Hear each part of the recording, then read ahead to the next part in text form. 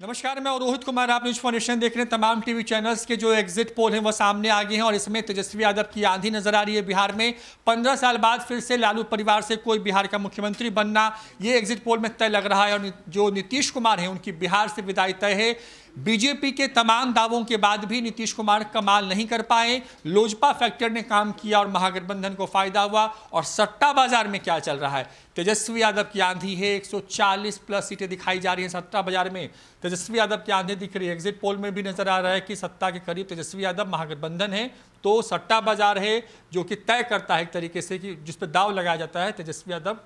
Trend कर रहे हैं। देखिए, जहाँ तक एग्जिट पोल का सवाल है, वो तो आप करीब करीब देख चुके हैं ABP C voter Republic TV TV nine, या बाकी जितने टीवी चैनल्स हैं अपने अपने हिसाब से सर्वे कंपनियों के साथ उन्होंने अपना अपना हिसाब किताब लगा दिया है, जिसमें यह स्पष्ट हो गया है कि महागठबंधन एनडीए से कहीं ना कहीं आगे है। आरजेडी एक बड़ी पार्टी के तौर पे उभर रही है। सट्टा बाज़ार, चाहे क्रिकेट हो, चाहे राजनीति हो, हर जगह अपनी हाथ आजमाते रहता है। बेशक जिस तरीके से महागठबंधन की तरफ़ इशारा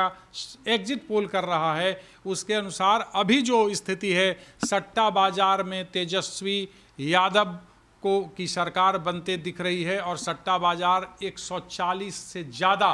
तेजस्वी यादव यानी आरजेडी महागठबंधन की सरकार को सीट दे दे रहा है। तो कुल मिलाकर के सट्टा बाज़ार जो है, जिस तरीके से महागठबंधन के साथ व्यवहार कर रहा है, उसमें यह स्पष्ट है कि तेजस्वी यादव बिहार के मुख्यमंत्री बन गए हैं, जो सट्टा बाज़ार कह रहा है। यानी तेज रफ्तार तेजस्वी सरकार पर सट्टा बाज़ार की मुहर लग चुकी है। लेकिन दूसरी बात जो सबसे बड़ी बात है रोहित, मैं बताना चाहता हूँ कि एग्जिट पोल जिस तरीके से आ रहा है, उस पर अलग अलग नेताओं की राय आ रही है। चूँकि सट्टा बाज़ार अपने हिसाब से उसका अपना नेचर होता है, वहाँ खेल पैसों का होता है तो वो मूल होता है, चाहे वो क्रिकेट का क्रिकेट का मसला हो या फिर राजनीति का। बिहार एक बहुत ही राजनीतिक तौर पे उर्वर प्रदेश है और यहाँ से बहुत कुछ जो चूँकि लगातार प्रधानमंत्री मोदी यहाँ आकर के जनसभाओं को संबोधित करते रहे, जंगल राज की बात कही जाती रही,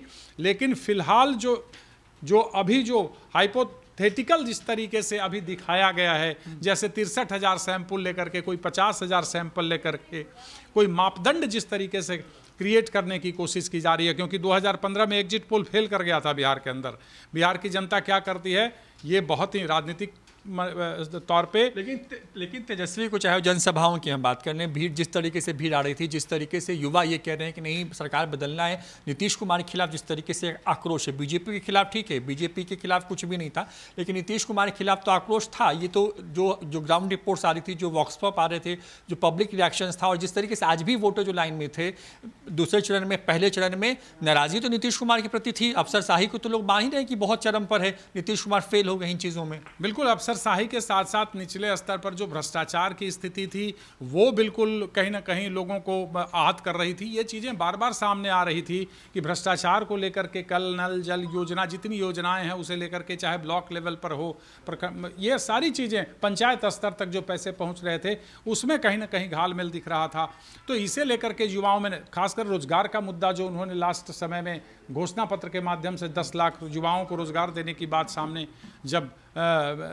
युवाओं के सामने लाई, उसके बाद से स्थितियाँ पलटने लगी और फिर तेजस्वी यादव अपने पीच पर खेलने को एनडीए को मजबूर कर दिया। एनडीए के लोग लगातार, जो प्रवासी प्रचारक भी थे, दिल्ली से आ करके लगातार कहते रहे कि ये जो है, जंगल राज है, डबल इंजन की मेरी सरकार है, बिहार को नीतीश की ज़रूरत है, नीतीश ने विकास किया। वाकई नीतीश कुमार ने बिहार की स्थिति को बदला है। लेकिन जो एक तरीके से लगातार पंद्रह साल से जो चीज़ें एक ही चेहरा सामने आ रहा था, और रोज़गार के मुद्दे पे बिल्कुल आप कह सकते हैं कि जब जदयू की सरकार ने सरेंडर किया तो उसे लेकर के संभवतः ये चीज़ें सामने